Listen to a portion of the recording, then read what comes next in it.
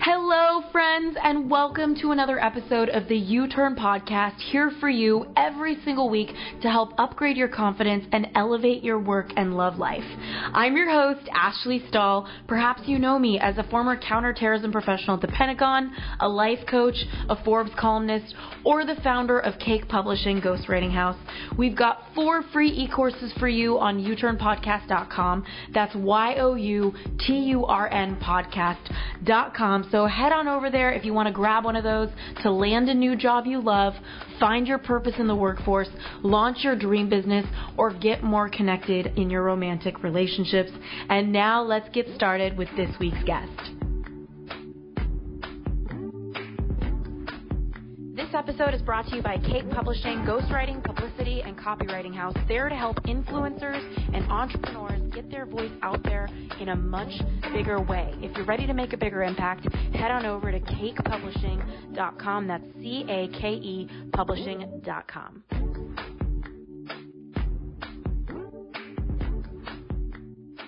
Hey everybody, it's Ash, and I've got Anik Singal here, and he is not only a serial entrepreneur, but he has a book that's coming out. And not only is it coming out, but it's free for you. All you got to do is catch the shipping. It's called Escape: The Four Stages of Becoming a Successful Entrepreneur, and he's here on the show to talk about the employee mindset versus the entrepreneur mindset. But before we get into that, I would love to talk more with you, Anik, about your story. Welcome to the show. Thank you so much for having me. It is awesome, and uh, I can't wait to have a chat. Let's talk about stuff. Yeah, and you know, before we started recording, I was just noticing we know a lot of the same people. So I'm like, I, it's so funny that we get to meet this way on the podcast versus in real life. Uh, but you're you're obviously doing a lot of important things, and you sound like a very heart-centered entrepreneur. So I would love if you could. It, it's so easy, I think, as entrepreneurs for us to be like, this is all of our success. And you're a huge success with six companies, a nonprofit, making millions in revenue. But I would love to learn from you when it wasn't this way or what your journey was to get to this point.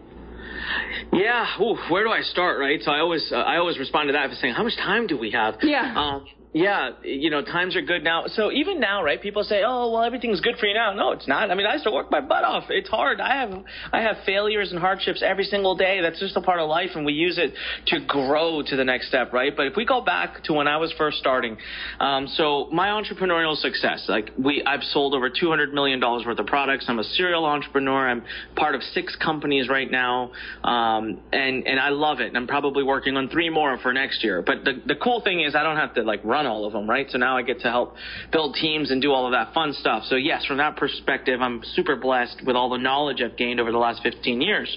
Go back 15 years ago though, when I was just starting, I literally was a college kid. Now I'm Indian by descent, so I was basically set to be a doctor, right? That's that's uh ever been to a hospital, you will see it full of Indian doctors. And that's exactly what I was going to be.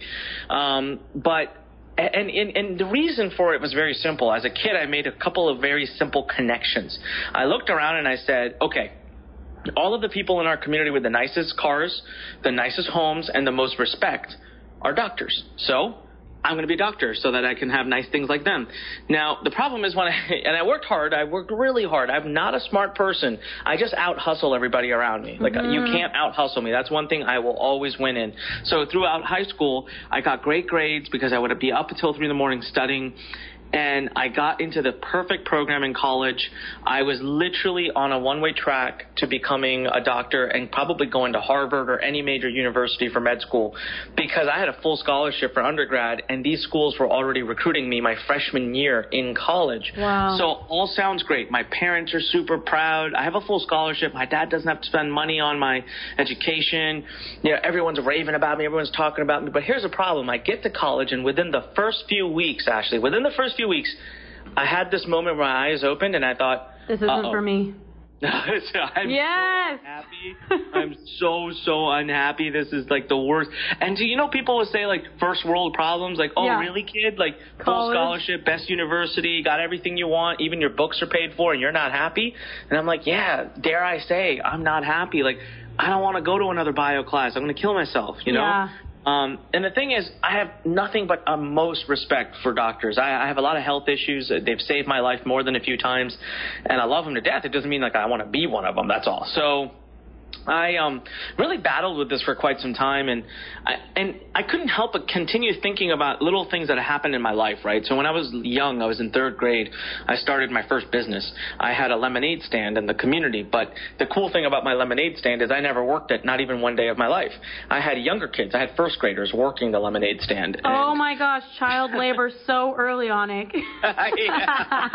um, so, There's always a, a level of uh, criminal activity when it comes know, to starting right? your business. Yeah. Well, d- don't worry. My parents had to shut down within a few weeks due to neighborhood complaints. So okay, fair was, enough. Uh, fair enough. That was over very quickly.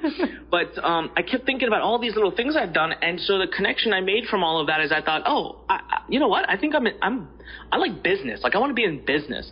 So you want to? I mean, it was so so painful, but eventually, two years in, Okay, so I, about a year and a half, not two, a year and a half in, I've now I'm a sophomore. I'm still studying to be a doctor, I finally muster up the, the strength because one of my friends really just she pushed me. And I go to my parents and I say I don't like this. And I thought there would be a nuclear war in my home that day. Mm. um, and my parents looked at me and they literally said kid we think you're doing the wrong thing, but you're our son. We want you to be happy. We'll support anything you do. That's and amazing so parenting. Wow. Oh, amazing parents. I mean, I wouldn't be where I am today without without my parents. I love them to death. They they are awesome. And so I literally switched universities. I lost my full scholarship. Everything went away, and I go to join business school. So I'm super excited. Starting my junior year, I'm way behind on classes, et cetera, et cetera. Within a week, actually, within a week of going to classes, I'm like, crap, I hate this too. Uh-huh. It happens. You know, I think a eh. lot of people, their biggest fear is not, it's, it's like if they hate their job or they hate where they are, it's not knowing where to go next. So I'm also really curious to learn like how you intuitively navigated like what to do next. But yeah, talk to me. Yeah. So you know what? Um, I kind of realized at that point that I think it wasn't school that I hated. It was the it was the uh, it was the thought process of learning and not applying. Mm-hmm. Like I wanted to come home and do stuff. I wanted to come back to my dorm room and like do something. I was active. So I started looking around for what to do. Now this is literally blank slate. You want to make some money. You know, you want to do something on the side. You want to be able to add an income to your life. And and this is blank slate. I go to Google when it just started back then. So this is like how long ago it was and I type in how to make money. and Google literally did an auto suggestion and it said online. And I thought, sure, why not? You know, oh, wow. how to make money online? That sounds cool. Um, and that was what led me to a journey of just who knows how the heck I ended up where I am today, but it was crazy. I, for 18 months though, I tried everything. I went through every hurdle. You, you know what? When I hear the messaging from people that says hustle, hustle, just hustle, hustle all day, I don't really believe it because I was hustling a lot during those 18 months. I was hustling a lot and nothing was happening. I mean, I don't even know how I lasted 18 months, to be honest with you. Like most people would quit way before that. And I did. I finally got to a point where I was like, that's it. Every man has his, his limits. I've reached mine. I'm done. Mm. And that was when I made a post on the forum and I said, listen, guys, thank you so much for all your support that you've given me the last year and a half. I'm done. I think I'm going to go off. If I don't make any money finally in the next 24 hours, like I quit. It's not for me. I'm going to go off. I was getting job offers from like Wall Street and all these great places. I'm just going to go do one of those. And you know what? This is when I, I don't know, you know, how your listeners or if you believe in the divine, but I sure as heck do. Something happened that day that, that changed my life forever. And I don't know who did it. Um, a person messaged me on the forum that had zero history on the forum, had never posted on the forum, and said, Kid, I've been watching you for over a year. I'm incredibly impressed with your hustle. I do not want you to quit. I don't want to see you fail. I will help you personally for the next 24 hours. You can direct message me on this forum as much as you want. Let, don't quit, though. And here I'm looking at this problem, like, who is this person? Like, they don't have one post, even no history on the wow. forum. Wow, I'd be like, God, is that you? yeah, seriously, right? And yeah. So I was like, and I almost said no, but this is another thing. Like, this is amazing how the smallest decisions in your life can make the biggest impact. Had I said no that day, we wouldn't be talking today. Mm-hmm. You know? And so I said yes, though. Thankfully, I said, what do I have to lose? Even if this guy's playing a prank on me, let me just, let me try it, right? And we were up that night until three in the morning. He's showing me what to do, or, or he or she, I don't know who it was. It, yeah. Um, you know, and this person is showing me what to do. And I, I went to bed at three in the morning, like I passed out, and I woke up six hours later. I rushed to the computer, like I, and I log in. I remember I almost hit my head on the table. I rushed so fast, and there it was. I made three hundred dollars. Wow. I had made more money in six hours of sleeping than I had made, in, you know, eighteen months of hustling. That is the craziest experience. Uh, yeah, it was- random it- it person in was- a chat room. Wow. Yeah, and, and, and so there I started to learn a lot of my lessons early on about the power of mentorship, coaching, Yes. having someone that knows it, done it, help you. And you know what? Ever since that day, I've never gone a day in my life without having a coach or a mentor. And sometimes mentorship can be like a book, like a book can mentor you, right? There's so many amazing people that have lived and gone by now, and we can't have them as mentors because they are no more, but there's no reason why we can't have them as mentors through an amazing book they wrote before they left. Um, and so Uh, it really, for me, it was a big pivotal change in my life. And so back then, it, this is how it was raw. Like anyone listening right now, I, this is how raw it was. And any one of our students who starts today, who's trying to make money online and trying to build a business, they start just as raw. And I sit here and I smile because I know it sounds and feels like such an impossible feat, but it's like riding a bicycle or it's like driving a car. You know, the first time you get in a car and they tell you, do this, do this, remember to do this order, remember to do this. Okay, here's all the rules. You're like, how the heck am I ever going to remember all this? I'm going to hit someone and kill someone. Hmm. But yet, fast forward a few months, and driving becomes a subconscious thing. You're not even actively thinking about what you're doing. It just becomes, you know, human reaction. Yeah. That's what I feel like making money online or becoming an entrepreneur, building a business is like. The first time it's super daunting, it's super hard, it's raw, it's scary. But once you've done it once or twice, it just becomes second nature. And it and all of a sudden you look back and you're like, man, why why was I doing what I was doing before? Like that's crazy. Like I should have been doing this the whole time and, and so that's that's really where I started, and you know, all of it was it's just they're all blessings. Like I don't ever sit and trick myself thinking like, oh my God, I'm so awesome, I did all of this. No, it was a series of amazing things that led me to do this. But you had said that you had lost millions of dollars and that you went through a hard time with that. So I'd love to learn what brought you to that place where you Yeah. were doing super well. I have the same experience. So I'm always curious to hear about fellow people who've gone from riches to nearly bankrupt because I get it. Uh, and then, you know, just like you, I was on to my next company. I'm so curious to hear what that journey was. Yeah, it's so funny, right? You, you said nearly bankrupt, and I'm like, nah, I was pretty much. You're bankrupt. actually bankrupt. Yeah. yeah, I mean, 1.7 million dollars in debt would pretty much Wow. be defined as bankrupt at that point. I wasn't officially, I didn't declare it, but um, yeah. So what happened, right? When I made my first $300 that night, if we just fast forward, I started doing really well after that. I started growing. I started, you know, learning, and I grew the company from, you know, what that $300 night up to doing 10 million a year. Um, I was traveling the world on top of I was on top of the world, really. I mean, I was traveling first class. I was speaking. I was sometimes in three countries in a week. Um, and so we're talking just six years. Like six years, I grew the company to 10 million a year, and I had three offices, 96 employees, and I was just starting to really get greedy. Um, now, I'm not the kid who makes a lot of money and then goes and starts splurging on gold teeth and fancy cars. Um, I still lived with my parents because I was barely home. And when I did fl- come home, I, I would go to my parents' house. I didn't even own a property. I was investing all my money back into the business. So everything so far still sounds great. It wasn't like I was doing anything bad. However, However, um, 2008 happens. Now, most of us, at least those who live in America, know what 2008 happened was Yeah. the economy collapsed. Um, and and really I sat back. Now I'm a first time CEO first time entrepreneur right? So I look around me in my industry and I see that everyone's still doing well. Yes the economy I'm watching TV and the news and I hear it but I'm not seeing it. So I thought "Meh, not for me. Keep going. Scale up. Build up. Go. And add more expenses. Add more employees. Every time I had a problem in my life get another employee. I built an office in India. I built two offices in India actually. I built a huge office here in America.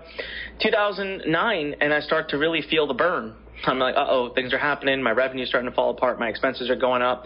Uh, it's okay. Have a problem. Hey, hire VPs, hire directors, hire management. They'll come in and take care of it. Delegate everything out. You, you're a business owner. You know, work on your business, not in your business. And uh, so I did that. I hired VPs. I hired directors. And by um, that, I think like by end of 2010, and by the time before I was even 28, and this is when I was 27, you know, it was like it felt like a blink of an eye. Um, so when I was 25, I won an award from Business Week. I was one of the top entrepreneurs under 25. I was literally came in number two um, out of the whole country. So that's me when I'm 25. By the time I am late 27, I am 1.7 million dollars in debt. Uh, oh. Uh, my parents had to take a second loan on their home. So you'll see my parents come up in the story again and again and just supporting me like crazy. It was one of the toughest things I've ever done in my life. Even today when I talk about it, sometimes I just get teary eyed because I was so down and out that I had to. My, my father finally saw it in me. I never shared with him, but he saw it in me. And one day I remember he pulled me aside uh, after dinner and he said, "Son, talk to me. What's wrong?" And I just burst out into tears and I told him all of what was going on and how I wasn't going to make payroll and all of this. And he walked away, came back with a checkbook, and he's like, the house is worth X amount. This is how much of a mortgage I can take. Write whatever dollar amount you want. And I, I took that. I, my closest friend, who's basically like my little brother, lent me his entire life savings, hundred and seventy thousand um, dollars. I owed Mastercard, Visa, American Express. I owed all my friends who are affiliates and vendors. I owed my own bankruptcy lawyer, who was advising me to do, to do bankruptcy, which I never did. Um, I refused to actually. Um, I owed everybody money, and I got to the point where my phone was ringing off the hook. I actually, I always tell people, I tell people now. This took me a while to be able to talk about openly. Yeah. But I think the first time I talked about it was a year ago. So have you ever watched a Hollywood movie actually where um, you see that guy who's down and out? He's got a whiskey bottle and a paper bag in a motel, beat up motel. That was you. sitting in the corner, storming outside. Starring a, and Singal. yeah, exactly. It's such a Hollywood scene. Well, yeah. crap, put my name right on that. You're right. Starring Onyx and Singal. That was me. I actually ran away for a week. Nobody knew where I was. Family, employees, managers. I ran away to a hotel in Goa, India, in a crappy oh nooks of the city, and I drank myself nearly to death. By the way, I ended up in the hospital a week after that, major internal bleeding. Um, that was my wake up call. Wow. I was just really down and out. My relationships were falling apart. Everything was going down, um, and, and and it really forced me to come back. And, and I had another I had another God moment. I had another angel in my life that came in who I'll never be able to thank because I don't know who they are. I was on a plane.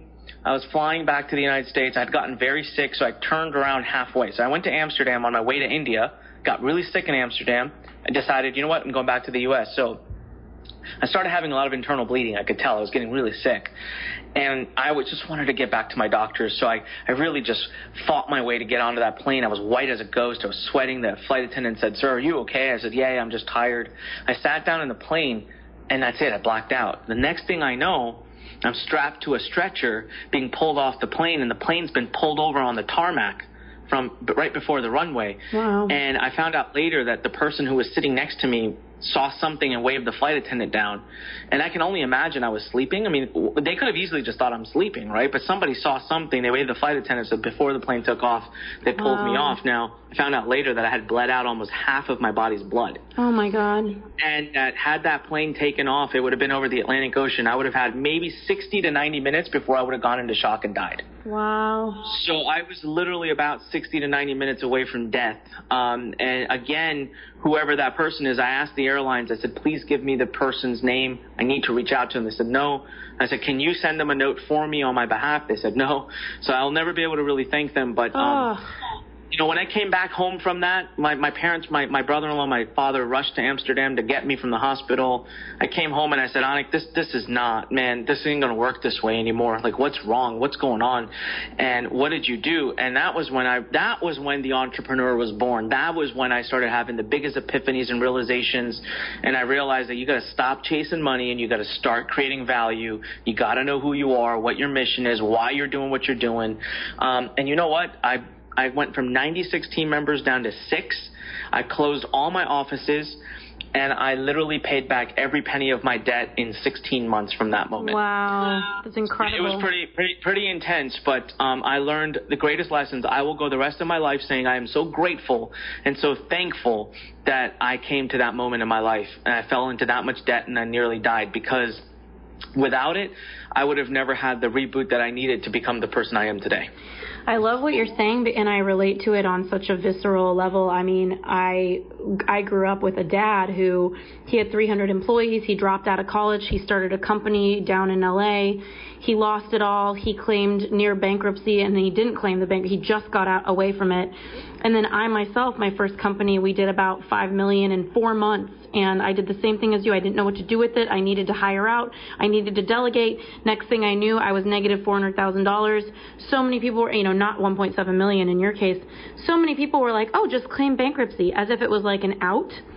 And Yeah, something inside of right. me, I had the same. It's so crazy to be talking to you because I didn't even know. I I I kind of have had been looking at myself in the mirror after I was two hundred thousand dollars, you know, paying the debt down, and then I still had two hundred thousand more, and it felt like this mountain that I was climbing. And I thought, man, why didn't I just claim bankruptcy? But there's just a part of me that was like, I want to handle this myself because if I don't, I'm just like anybody else that isn't having like I don't know. There was something about taking the responsibility for it. Um, what what drove you to not claim bankruptcy and opt out of it? You know, so here, how was I like? So if I declare bank, here's what drove me to it. First of all, I'm a man of my word. If I owe you money, I owe you money. I don't care if you're American Express with billions of dollars. We have an agreement. Yes. I got to pay you back. That's how I feel. Um, and if if I if I'm not a man of my word, if I if I don't have my word, I have nothing. You know, I have no honor. I have no integrity, I, and I'm I'm worth nothing. I don't care if I'm worth a billion dollars. If I'm not a man of my word, I'm nothing. So that was something that I learned from my father. I was taught from very young age. Contracts are not necessary. A handshake is all it should ever take. Um, but more than even that, who was I going to say that I'm bankrupt? My father, who literally spent his entire life as an employee working for the government, paying off his home. Was I going to turn around and tell him, Dad, I'm so sorry that $350,000 that you loaned me, I can't pay you back. You're on your own. Was I going to turn around to the young, my, my younger brother, who's not really my blood brother, but he may as well be? Was I going to turn around to him and say, I know you gave me your life savings of $170,000, but hey, I'm, I'm bankrupt now, so too bad, so sad. Um, you know, I, these people I loved, these people believed in me, these people supported me during the time that, you know, I needed them the most. I wasn't going to turn my back on them. No way, a chance in HE double hockey sticks that I was going Oh, to do you can that. say So- whatever you want. We we swear on this podcast. You do whatever you want. Oh, okay, good. Well, yeah, No chance in that hell. I'm gonna do that. Okay, so Yeah. Um, so I said, you know, no way. I'm I'm I'm I'm I'm fighting my way through this one way or the other. But I did I did make myself one promise. So during that entire time, there was one thing I did decide to do for myself, um, and that was this. I said, I'm going to sit down and we're going to figure out what is my why. What is my purpose? Why am I doing all of this? Now, if I don't have an answer, if I don't have a clear answer that tells me this is your big change the world impact vision thing that you want to do, then it's okay. I'm sure I'll have one one day, but I would rather spend my time working on helping somebody else build towards their vision rather than just chase money. So I'm mm-hmm. going to come back. I'm going to pay everybody back, but I'm not going to sac I'm not going to chase money. I'm not going to sacrifice on who I am anymore because I've been sacrificing Yes. on who I am for years and that led me to where I am today. And what what was so amazing is I had the answer very quickly. I knew exactly what it was and everything that came after that was not there to make money to pay my debt back. Everything I did after that was to live in the true, like into my true purpose. And the two things just converged because I loved what I was doing so much and I was able to pay everybody back in 16 months. Mm-hmm. You know, so, so it, it all fell in place. And today, every decision I make is in line with my purpose.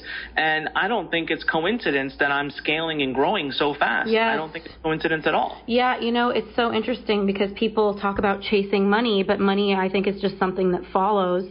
And, you know, I love that you talk about your rock bottom because I think that there's a dignity to hitting your rock bottom. And I think it's so important. And we live in a world where there's a lot of codependence where other people care about somebody and they want to spare them their rock bottom. And I find that when you really allow somebody the dignity of hitting their rock bottom, they are able to have the awakenings, the awarenesses, the clarity that's available for them down there at the bottom.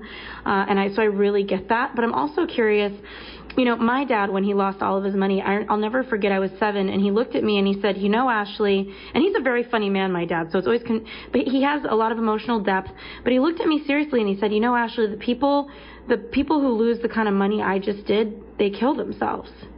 And I remember being seven years old and looking at him thinking, oh my God. And in that moment, I made money and the process of earning it mean that it could kill you. And so I'm curious, and I, you know, I've done a lot of healing with money to continue to make it to bounce back like you did, pay off my debts, start another company. And, you know, it's, it's interesting that you're on this podcast because this is my highest passion project yet is this podcast and getting it out there. Like I just really enjoy conversations like this one. And I'm so curious to hear from you. How do, what do you think happened in your mindset about money that created the results that you've been able to create, even with the what, what you could argue is trauma, like a traumatic experience of losing it all, humbling yourself, asking for your parents' support, hitting rock bottom. What did you do on your mindset to keep pushing and earning and being a success? That's an awesome question, by the way. So, um, and probably the first time I've ever been asked that question, believe it or not. Um, I have a very, very, very, very, very specific way of looking at money, and I think that most people in the world look at it very differently. Money for me is a tool. It's an investment tool.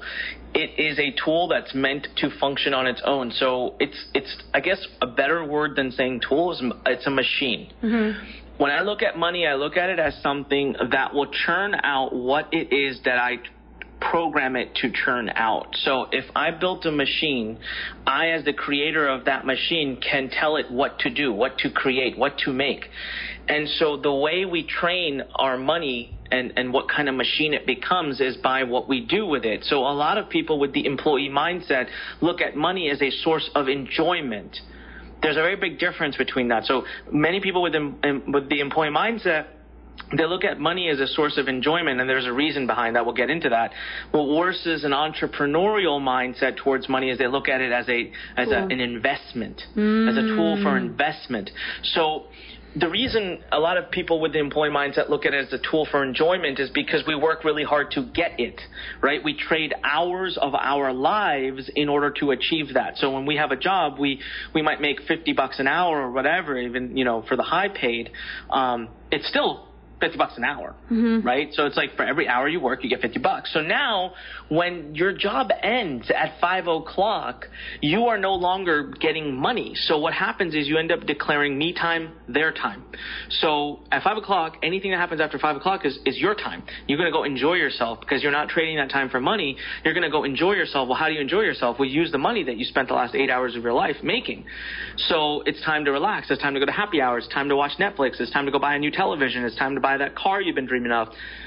Versus an employee, an entrepreneur doesn't have that perspective. An entrepreneur says, "Man, I just worked really hard to make this money. Tell you what, what I should do with this money is put it in uh, put it in use in such a way that it'll make me more money. Mm-hmm. That way, I can stop working for money and let my money work for more money. Mm-hmm. And that is exactly what I have done. So when people ask me, you know, recently I bought an advertising deal, and everyone was like, "What the heck? Why would you do this?" And I walked my team through my thinking process, and they literally sat there and thought, "Oh my God, why didn't I think of that?" So I bought this ad deal for twenty thousand dollars, and that sounded like a whole heck of a lot. And what they didn't realize though is that I already had my plan B, C, and D with that investment. I knew that the worst case that happens is I make about 15 to 16 back. I might go negative three or four thousand. However, there was lots of ancillary benefits to that advertising deal that I could cap- uh, capture later. Well, anyways, long story short, we did the advertising deal. I ended up losing money. I lost six thousand. I was way above. I, I, I overestimated the success of the deal, and so everyone's like, "Oh man, we're never doing that again." Yada yada yada, et cetera, et cetera. But my ancillary benefits kicked in, and I ended up closing another deal because somebody saw something. Anyways, that twenty thousand has now become seventy five thousand dollars. Yes, I. You always have to trust that instinct, and you know what you're actually touching on is um, I think a deeper question for everybody listening is instincts. I mean, you're an intuitive guy, obviously, Anik. And and by the way, I wonder if we've had the same people mentor us because Jay Abraham has mentored me a bit, and I know he mentors Daymond John, so he's probably talked with you quite a bit. But I'm curious, what what has given you this access to your intuition and your ability to connect to yourself because we live in a disconnect we're more disconnected than ever the data indicates it you know it's not just my opinion i'm curious how are you hearing the answers inside of yourself in such a loud, noisy world? Uh, you know what? It's um, it's funny because when I ask a question or when something comes to me, I think back to advice that Tony Robbins once gave.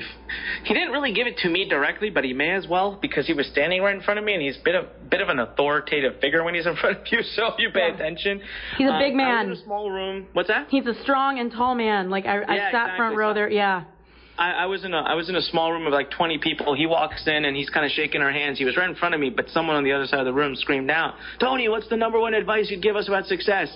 And he chuckled because I can only imagine now where I am today, 15 years later, how many times he gets asked that question. God, Yeah. it's such a it's it gets annoying after a while. But anyways, he gave a great answer. So he kind of looks right towards me as he's giving the answer to the group, and he says, "You know what? Success is directly connected to your ability to make fast decisions." Mm. And and I and I remember at the time I'm like, what the heck is he talking about? Like we can't make fast decisions. We have to make we have to analyze the decisions. We have to think through the decisions. We have to make smart decisions. Today I've come to realize after 15 years of doing this, building multiple companies, selling over 200 million dollars online, is this. Look, if you're going to make the wrong decision, you can either take 2 weeks to make it or you can take 2 minutes. Mhm. Mhm. And so the real truth to success is that you suc- success is success is literally a combination of failures. Yes. People don't realize that. So success is created by combining failure. And so actually if I want to get to success faster, I need to fail faster. Yes. Gosh. And so rather, so that's what helps me make decisions quickly now is when something comes in front of me, I quickly ask myself the following question. Okay, what impact is this really going to have on me if it goes south? So a $20,000 ad deal, to me, if it goes south and I lost all of it, I'm not sure I would even spend more than five minutes thinking about it. It wouldn't change my life in my current state in my business. So why should I spend more than a few minutes thinking about whether I should do it or not? If I wouldn't even spend more than a few minutes thinking about if I lost it all. mhm. So, and but, but would I learn something from it? I said, you know what? Absolutely I would because I would learn that this entire type of advertising doesn't work for me. That would be in a superb, that would be a superb lesson. I don't have to go to sleep every night thinking about, wait, well, would this work? Would this work? Would this work? And so I, I that's how I that's why I can hear the voice because I am able to follow my first gut instinct Yes. to something simply because I'm not scared if it's wrong and it is wrong. A lot of times it's wrong, but I don't care. Yeah, it's okay when it as long as I and you're learn right. from it. I don't care if it's Yeah, and you feel your way there. And then once it hits, and you're so right. You know, I found so many people who are afraid to make decisions, and I know that that links to confidence. And A couple questions about that with your mind, and I know we'll also get into the employee versus entrepreneur mindset even further. But I'm curious. A around burnout because you talked about how you can out hustle anybody and I know you're connected to purpose and I t- truly believe that when you feel connected to something like I do with this podcast or with my book deal, it's like it pulls you forward. You don't need to work that hard. You want to be doing it like you, you're inspired by it. But a lot of the times that hustle and that push, it burns you out. And so I'm curious, you know, looking back and you having been pulled out of a stretcher on an airplane, had one too many at a hotel in Goa. I'm so curious to learn you know, where did you learn to manage your, your energy and your burnout? Because this is a very distracted world where, you know, and I'm a to- I'm a two year old toddler sometimes with shiny object syndrome myself. So how do you manage your energy so that you don't get burnt out and how do you overcome burnout? That's awesome. All right. So you, you may not like my answer though, because it's going to be kind of funny. Um, actually, have you seen a show called Lost? Yes. Oh my gosh, Okay. that's so retro. I It's been so long. how to handle my emotions from a show called Lost, and I have That's no, deep. I have a zero um, shame in telling this story because it really made that much of an impact. There's one scene in season one. They've crashed. There's it's for those of you who don't know Lost and you're listening. it- It's a it was one of those big shows where everyone crashes on an island. They're lost and crazy freaky things are happening on the island. And so in, it was like I don't know halfway through the season. There's a scene where there's like black smogs of smoke and crap running around and people are scared. But there's one guy, the doctor, one of the main characters. He's he's just he's very calm. And so another one of the main characters, this girl, asks the doctor, How do you stay so calm? Right? We're like literally about to die, and you're just sitting here calm. And he tells this story that I remember listening to and thinking, Man, that's interesting. He tells a story about how when he was a resident becoming a surgeon, he's a neurosurgeon, so he does spinal surgery. He says, I was fine. I was in years of surgery. I always have a, a, a, senior surgeon with me. The first surgery I had to do on my own when I was officially a doctor, he goes, I ended up doing something wrong, and this woman's entire spinal cord system just flared onto the, de- uh, onto the, um, onto the entire um, surgical table. He goes, as far as I knew, I had just paralyzed her for life. And he goes, I was absolutely just panicking.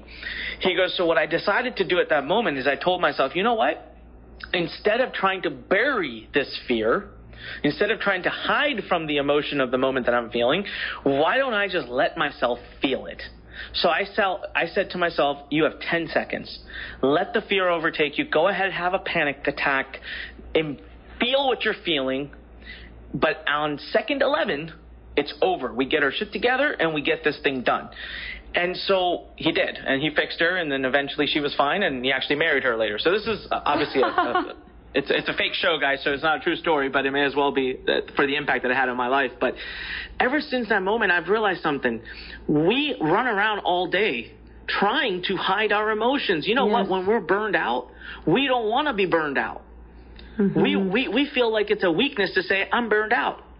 You know, when we're upset or we're sad or we're depressed, we think it's a weakness to say we feel that way. Versus me, my my entire approach to this is to say, this is how I'm feeling right now. So I'm going to feel it. It's okay. Right? So when I burn out, it's okay. I'm human. I'm going to burn out. So let me, now that I can acknowledge and accept, right? What do they say? The first step in uh, Alcoholics Anonymous, right, is to accept mm-hmm. that you are. Mm-hmm. And so when I'm burned out, I say, hey, I'm burned out. I'm tired you know what? Okay, I'm burned out. I'm tired. So I accepted that. Oh my God, it's such a relief. And now I say, well, Anik, what do we get to do for, for ourselves so that we're not burned out anymore? And almost always, if you just listen, your, in, your, your mind tells you, your heart tells you, you know what? I want this.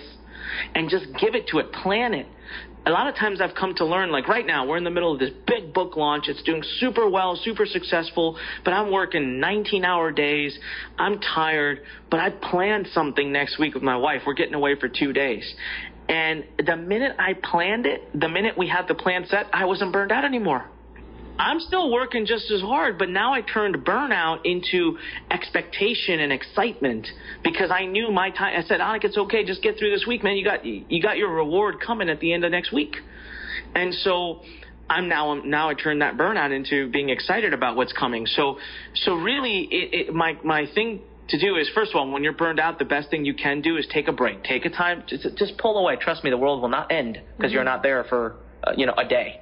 Um, pull out. But the but before you can do that, you have to be okay with it. And you know what? If one day you're sad and you want to cry, go find a corner, be sad and cry.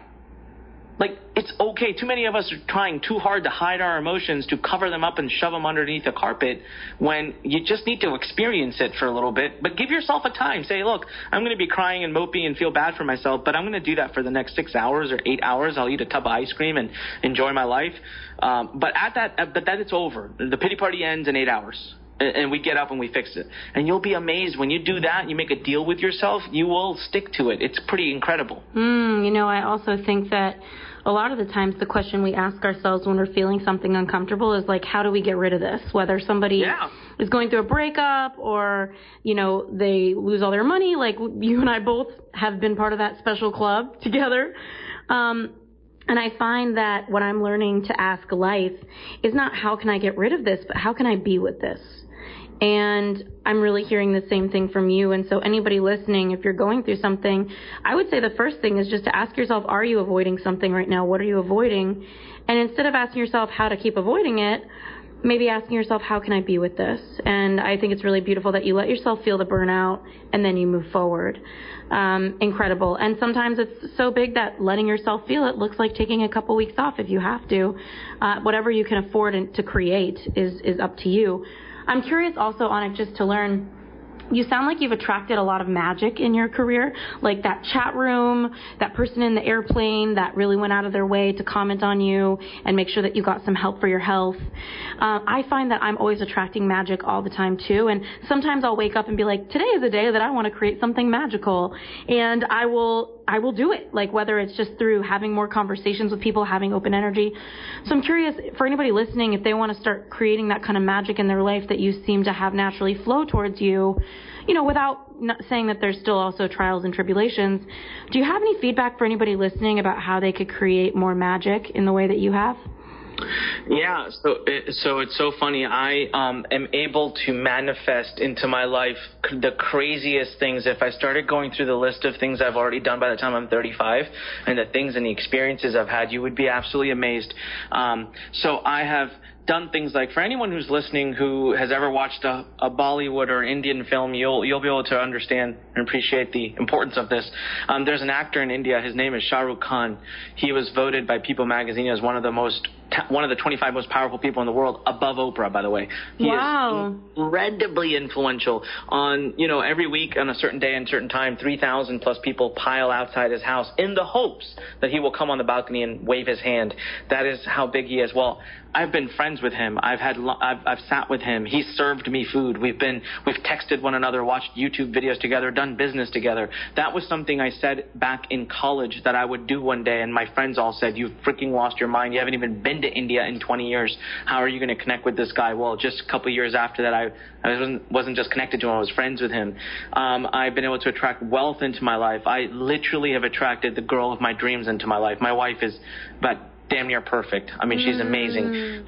I have I, don't know, like it's literally anything I've ever wanted from materialistic to, you know, to uh, nonprofit. All the work that we do in nonprofit, I dreamt it years back I, before it started, and I and it happened.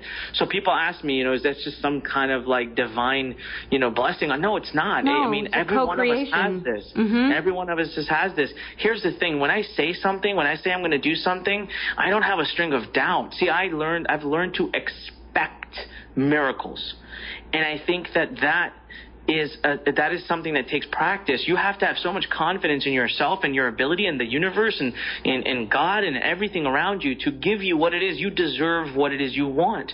So a lot of us are carrying around so much guilt and shame that we don't actually de- we don't feel we deserve what we're we're dreaming of. So you're not expecting it, so it's not going to happen. And even if it's happening, you may not recognize it.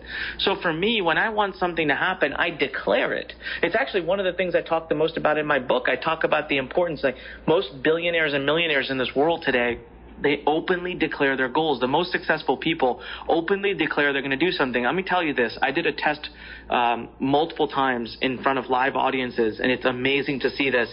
I ask everybody to raise their hands who has a best friend. I say, raise your hands if you have a, a best friend, someone who's super close to, to you. Usually, like 95% of the audience will raise their hands. And I say, now keep your hands up only in the following situation. If I were to ask your best friend to give me a detailed, detailed answer on your biggest goal in your life, keep your hand up if your best friend could tell me your deepest goal in life. And you, it, it is, it is literally heartbreaking to see the hands go down. Of that 95% that had their rooms, their hands raised, I'm telling you, I'm not exaggerating, 5% of the, the hands are left up. That's it. What do you think that's about? Why do you think it is that people Fear, aren't afraid. We, we just we're too scared to tell anyone what it is that we really, really want because what if it doesn't happen? Yeah. It's embarrassing, Mhm. right?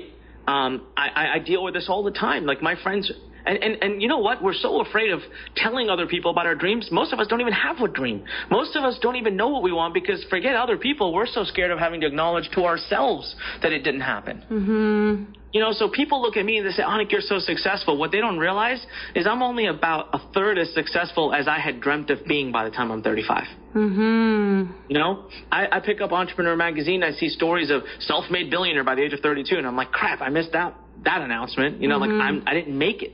But I don't look at that and get depressed. It just inspires me more. I'm like, cool, I get to be a billionaire by the time I'm 45. How about that? Let's do that, right? And so it's how you perceive when you it's, it's again it's that relationship with failure right so a lot of people look at failure as a horrible thing i look at it as an amazing thing that allows me to learn so hey Anik, you failed at becoming a, a billionaire by the age of 35 so what did you do and what can we do differently so in the next 10 years and that gives me an opportunity to sit evolve to ask questions to analyze and then you know apply those teachings to the rest of my life which of course, success then accelerates because you're learning and you're applying that knowledge. So it, it's it's funny, but th- that's a very long answer to a short question. But it comes down to I openly declare what I want and I learn to expect it. I, and I know that it'll happen. And by doing that, my mind stays open to all of the different frequencies around me that make it happen. There's actually an anatomical part of our brain, by the way, that helps us manifest things. Most people don't even know it. It's called the reticular activating system. Look it up on Google. It's a little tiny little chunk of your brain that actually scientifically gets the closest to describing law of attraction or manifestation. It's physically present in your brain and it helps you attract the things that you think the most about. Mhm. Yeah, I know that's that part of your brain that when you declare something it shops for opportunities that it wouldn't otherwise be paying attention for. I think that's the the RAS, I think for those of you listening, it's the part of the brain where if somebody says to you, "Hey, have you haven't you seen all these Teslas on the road?" and then you you say no and then you you're driving home and you see like 10 Teslas, it's because you've activated the RAS. So that's that's amazing, Anik. I'm so glad you mentioned that. And I'm also so curious to hear, you know, you said the employee mindset versus entrepreneur. So you talked about how money, employees see that for enjoyment, entrepreneurs see that as a tool um, to invest. And you talked about time a little bit, um, but I would love to hear a little bit more about time and what is the difference between somebody who's in the mindset of an employee versus an entrepreneur. Yeah, so when it comes to time, um, I said it earlier, I kind of alluded to it. Man, um, their perspective is again so different, right? Me time, their time. That's how an employee thinks. Me time, their time. So their time being their employer. This is the time I use to trade for money. And me time. Me time is for me. I get to have fun. I'm going to go have fun. I'm going to go enjoy myself. This is, I deserve this. I earned it because I spent, oh, so much time with them. So now I get me time. And that literally again comes back to splitting us up and we don't treat time as an investment. Let me tell you something. Time is the only one thing in the world that is a limited commodity. We, there is no abundance of time. It doesn't exist, not yet. Um, we will die one day, and so time is utmost limited. So both employees and entrepreneurs look at time exactly the opposite. An employee looks at time and says, "Oh my God, it's limited. Crap. Let's have as much fun as we can." And an entrepreneur says, "Oh crap, time is limited. Man, what can I do to have the biggest impact that I can?" Mm-hmm. Right and so when I was in college, um, I, you know what? I went through four years of college. I was at University of Maryland College Park. We had at that time literally one of the best football teams in the country, and we had one of the best basketball teams in the country. We have an amazing campus. I had tons of friends. Not one basketball game or football game that I ever stepped foot inside of. Not one. All right. Frat parties. I went. I went to a few. Didn't really see the appeal of a bunch of people puking everywhere. Thought that time would have been better invested in my dreams that I'm trying to build towards. So I didn't really go to many that, that many parties. Now, does that mean I didn't enjoy college? No, I had a blast. I had awesome friends. I had a lot of fun. And but, it definitely doesn't mean you didn't enjoy a drink because we all know what happened that one night in Goa. Oh, I enjoyed plenty of drinks. Don't don't, don't do not even worry Just about messing that. with you. Um, but but see, that's what I'm trying to tell people is like, so now my friends, this this is something I hate. I hate when people tell me this. Some, especially some of my friends who I knew back then, because I know what they were doing with their time. I have people come to me and tell me, Anik, you're so lucky. If you ever want to get on my shit list, that's the first thing yes. you say. Anik, you're so lucky. Because as soon as someone tells me I'm so lucky, I have like one of those mo- moments in my mind where I play my play my life back, and I'm like, dude, I am not lucky. I earned every penny of what I got right now. Like I am not ashamed to say I deserve this. This is mine. Mm-hmm. I went out and got it. Like I'm not lucky. Mm-hmm. You know, you mm-hmm. were you you you were doing all those other things. So yes, I sacrificed a few years in college of a little bit of fun, but instead of now going to college basketball games, I get to sit in the club seats of my favorite professional team. You know, mm. I, instead of going to a college football game, I now get to go and be the VIP guest during one of their practices at my uh, at, at my local professional team. So why? Because I took that time and I invested to building the life I have now. Yeah. And so time again is a is an investment. So for an entrepreneur, the day doesn't end at 5 p.m. Like I don't I don't know I don't have people ask me what do you do for fun. I genuinely sometimes don't have an answer. I'm like uh I, I love what I do. Like I do what I do for fun. You know, mm. like I do my mm. career for fun because it's that much fun. Well, um, but you know I want to challenge you on it because you said time and impact versus just you know time is something you have. You might as well have fun. But I mean, not everyone's core value is impact. Like, I think it's incredible that that's yours. For me, my core value is connection, and sometimes it happens to have an impact. So, for example, I wanted to be connected to myself, and so I started writing, um, and then my writing moved a lot of people, so it happened to make an impact. But I led with connection, and that's how I wanted to spend my time. And so I'm curious if, just to challenge you, like, maybe there's some people out there that are entrepreneurs who, they feel, or, or, you know, employees that are like, I don't really feel the need to make an impact on a lot of people's lives while I'm here on this planet. And I don't know if there's any reason, you know, I think in society we have a judgment on that. Like, people should want to make an impact.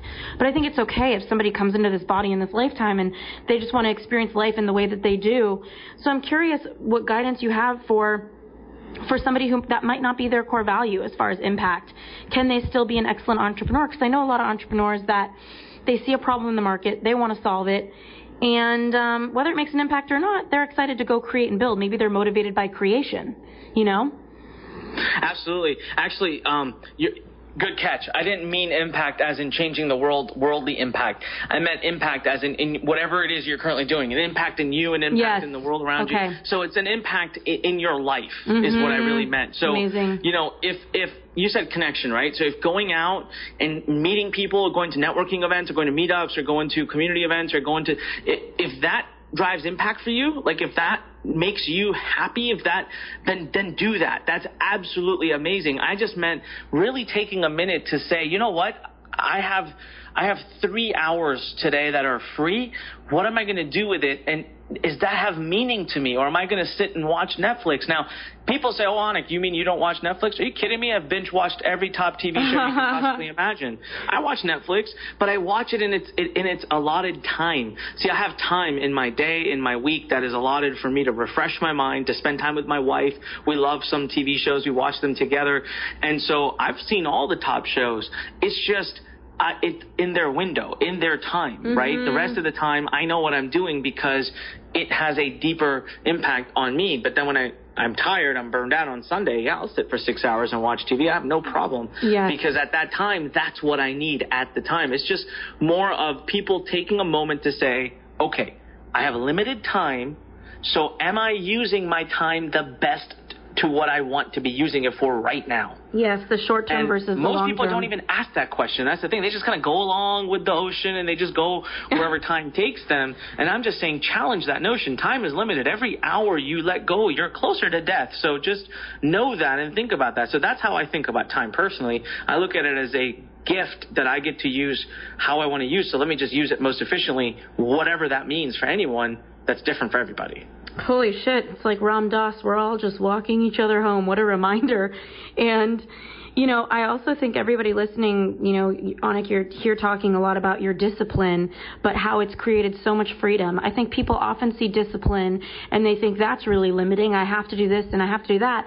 But if you have a goal and you have the discipline to calendar it out and actually put it in real time and anchor it into your life, there's so much freedom that can follow. You know, I like to think about it like food. Like I love, I have this thing on my Instagram, Anik, called Snacksidents, where I just eat whatever I want.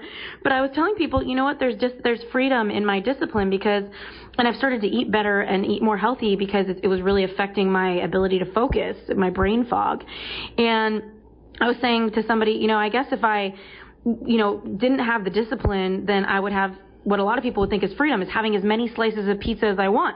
But what's going to happen if I have as many slices of pizza as I want? I'm going to get sick. You know, so I find that there's such a freedom in discipline for anybody listening who's avoiding their goals. Like, get the discipline to anchor those onto your calendar as real, non-negotiable blocks of time you spend with yourself. Amazing advice.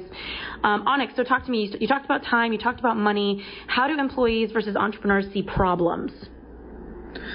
So problems, right? Um, I think I think employees and entrepreneurs definitely see problems very differently. So a problem is really something that uh, more of an employee mindset wants to avoid. Um, why deal with problems when you don't have to? Um, you know, like I said, a lot of the employee mindset does kind of go back to that me time and their time, and and and that takes you back to well, a problem is something that's just going to be tough to deal with. I don't really want to deal with it, so I'm just going to avoid it, ignore it, put it off to somebody else versus an entrepreneur sees opportunity in problems. So an entrepreneur looks at an opportunity, uh, looks at a problem and thinks, you know what? Um, maybe if I just go ahead and take this head on, I could grow from it.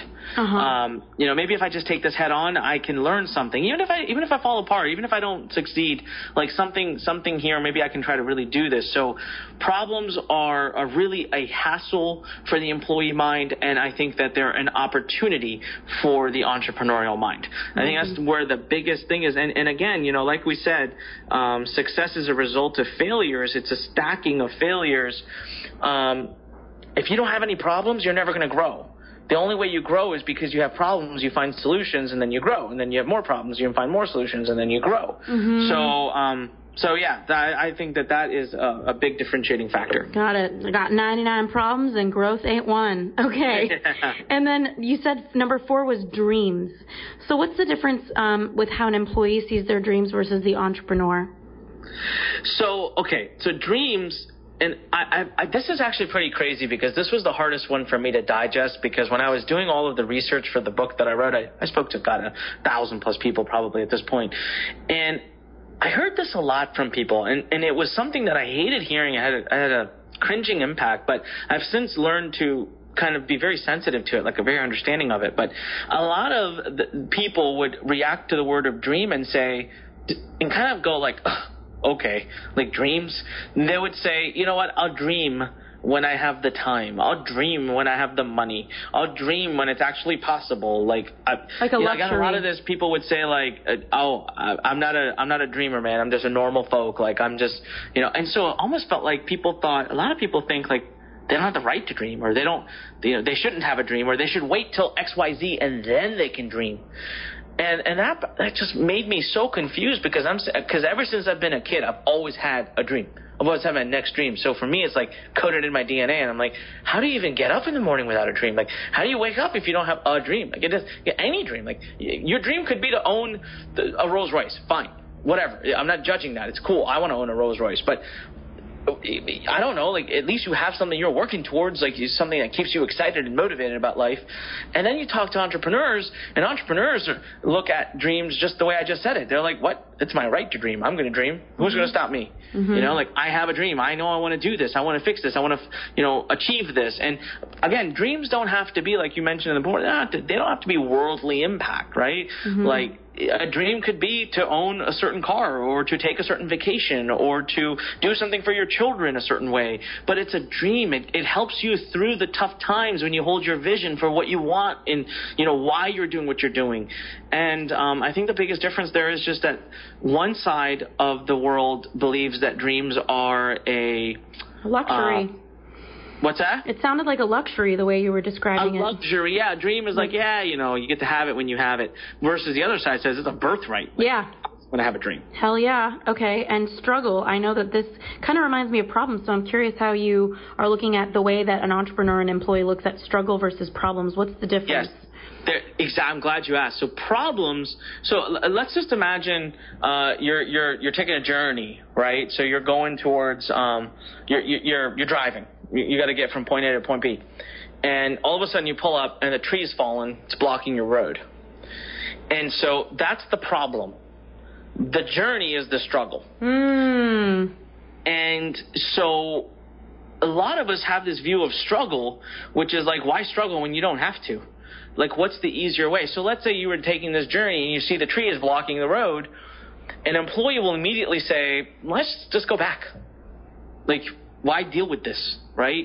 Do we really need to get to the other side? Like, is it? We'll try tomorrow. Let's. What, maybe someone else will remove the tree out of the way. Um, versus the entrepreneur will say, well, hold on. I mean, what if we take that route? What if we just go around that way? Or has anyone? Maybe this tree is really light. Let's just try to push it. Maybe we'll just get out of the way.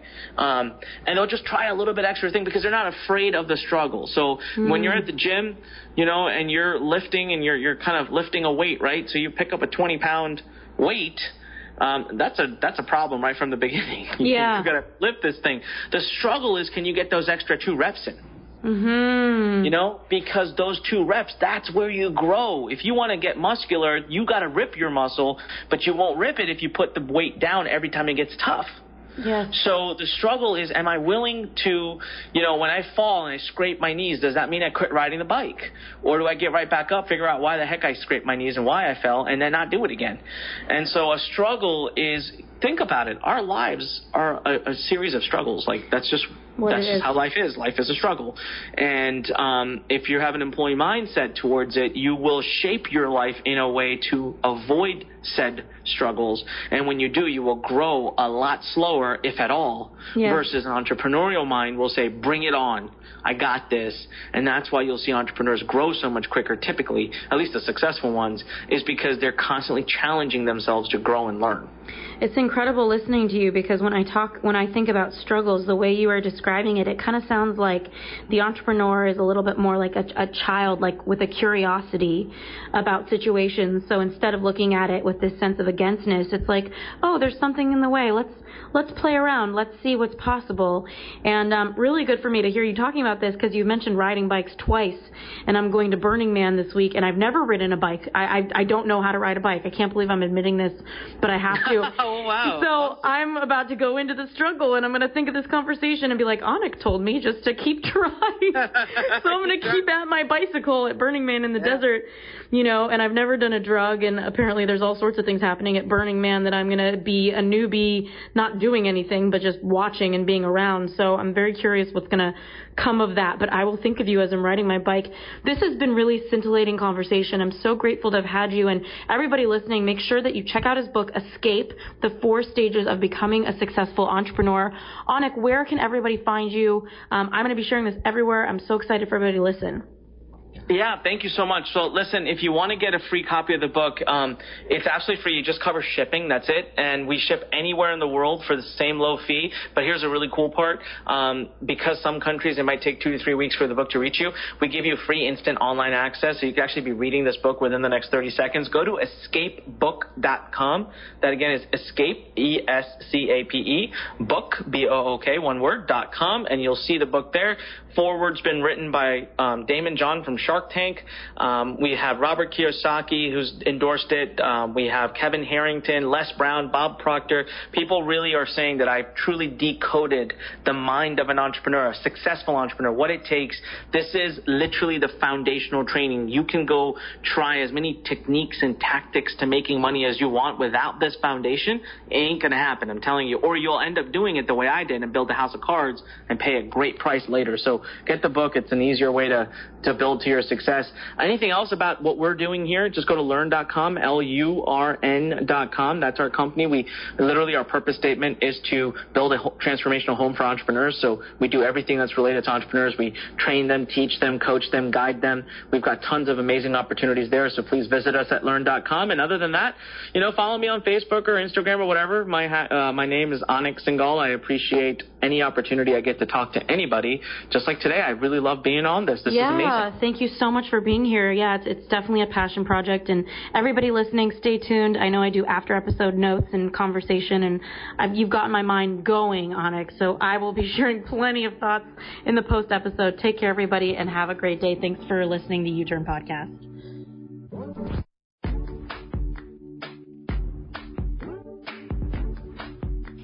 Hey, it's Ash, and I am just reflecting on this past episode with Anik Singal and completely inspired by all of his success, but more importantly, you know, continuing to be curious about his failures too. And, you know, like I've said before, I think it's tempting for a lot of entrepreneurs to talk about all of their success, um, but not to share about their failures while they're happening. It's almost like failure is just this tiny little blip on the way to success when really, Anik pointed it out so well, failure what success really is is just a combination of a lot of failures. And I so deeply resonated with his experience of having a successful company, um, my e-course, my job hunting course, um, which now I have the Job Offer Academy course. But before that, the one that I created, it went into the millions in just a few months, um, you know, after years of me being in debt trying to create it and believing in it and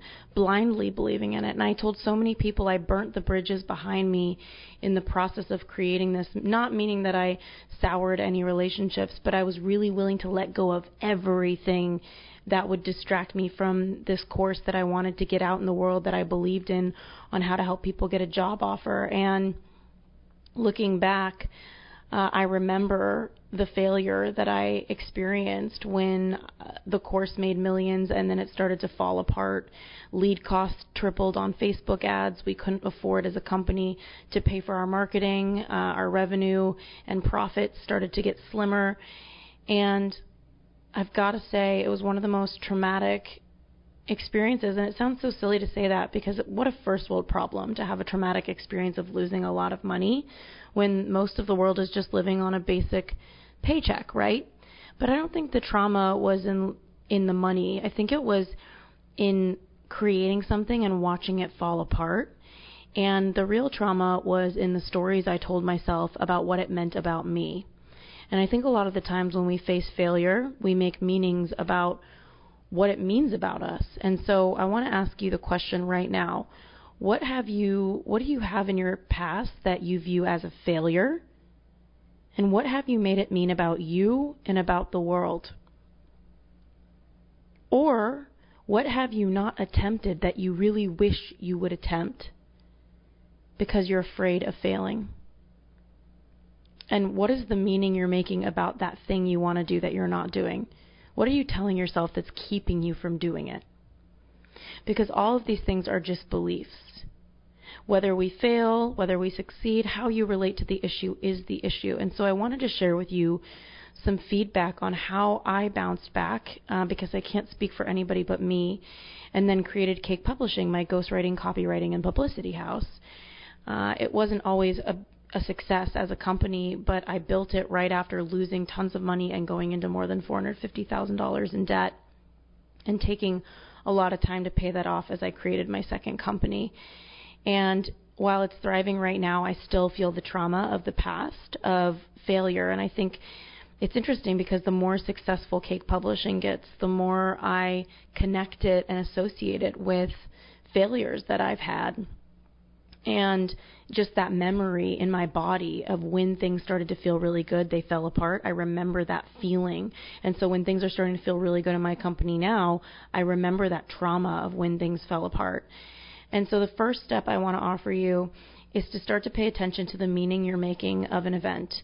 So maybe it's a failure, maybe it's some sort of a loss, and what you do is you want to just start to think about, you know, pay attention to what the thoughts are that you're thinking. Or if you're having a hard time with that, ask somebody to ask you about it. Um, ask a friend and ask for their feedback. Like, hey, what do you think I'm thinking about all this? What are my thoughts that you're hearing uh, that might be holding me back? A lot of the times your friends can hear you going on about things that are blocking you. Um, and if you ask for their feedback and they really are present and they're good listeners, they might have some brilliant feedback for you about the way you're believing about something, the way you're buying into something. So, for example, for the longest time, I didn't want to put another course on the internet because I was so traumatized from my failure. So, what I did was I started telling everybody, you know, Facebook ads costs have gone up. You know, it's going to be impossible to get another course out there. There's no way I'm going to be able to do it, so there's no point of even trying. I would come up with so many stories and defenses so that I wouldn't have to put myself out there and experience the vulnerability of, and the hope of believing something could happen. Because we grew up in a society, right, where um, you hear people say, waiting for the other shoe to drop, or don't hold your breath, or don't get your hopes up.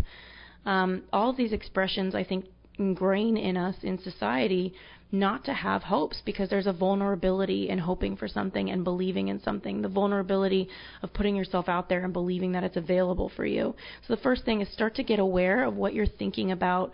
Uh, what your thoughts are and what meaning you're making of certain things in your life, certain failures you've had, or certain things you wish you were doing that you're not. What is the meaning you're making about it?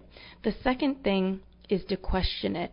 So I would write down a few things that are the meaning you're making about it. So in my case, I was traumatized by losing tons of money and my first business and all my success. So the stories I would tell and the thoughts I would have are it's it's impossible to get something on the internet right now with the cost of Facebook ads. That was one thought that I was having. Another thought I was having was the market's really saturated now. There's a lot of people teaching job hunting, you know, and um, when I created my methodology for the Job Offer Academy, there really was very little competition. Uh, the third thing I'll say is it's a lot of effort, and I really don't like dealing with technology, and I haven't found anybody good to help me with technology. So you know, it's going to be a mess anyway. So those are three things that I'm stories that I'm telling myself, meanings that I'm making to prevent me from the vulnerability of getting out there. And the second step is to question it. So to really look at myself and say, is it really true that Facebook ads are so expensive it's impossible to sell a course? No, because I have a lot of friends crushing it at selling their course online. The second thing is taking a look at, you know, every single belief you've written down. Maybe you want to pick 3 to 5 of them. And the third piece, and I'm always going to tell you to do this, is to forgive yourself for buying into these beliefs and updating them with the truth. I forgive myself for buying into the belief that Facebook ad prices have tripled and I'm never going to be able to have a course online again. The truth is, so many people have courses online, and that means that it's possible for me too. Right? That's a perfect way to say it. I forgive myself for buying into the belief that the truth is, and you fill it in. I know I've told you guys this before, but I can't repeat it enough because I know how powerful it is. So, just some post episode reflections. I'm so grateful for Anik and his wisdom and his vulnerability. And just remember, your life and your quality of life is directly tied to how comfortable you can get with failure. And how comfortable you can get with failure is based on how powerful you are at managing your thoughts, at questioning your beliefs, and having that space between the moment you think something and the moment you buy into it.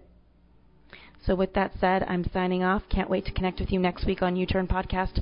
So grateful for Anik. Check out his book, Escape, uh, at escapebook.com. Incredible guy. So lucky to have interviewed him and looking forward to connect with you guys later.